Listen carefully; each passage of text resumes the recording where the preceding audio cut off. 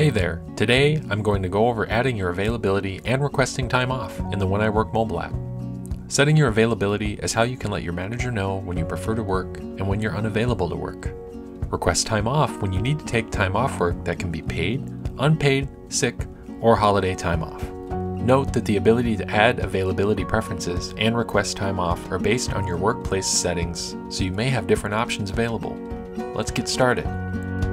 Go ahead and log into the When I Work mobile app using your email and password. Tap More, then tap Availability. Tap the plus next to the date you want to set availability for. From here, choose you are unavailable to work or you prefer to work. Toggle all day on if the preference is all day or pick a set time if it's not. Toggle repeats on if you want the preference to repeat, then set the cadence details. Finally, add a note that adds context to the availability preference. When you're all done, tap Save to finish. Now, if you want to take time off, tap Time Off Requests on the dashboard, then tap the plus. Select a type, then enter the date range you need, as well as a message you want to send to your manager. Tap Done to send it. Note that your workplace may require time off requests to be approved, so keep an eye on that status.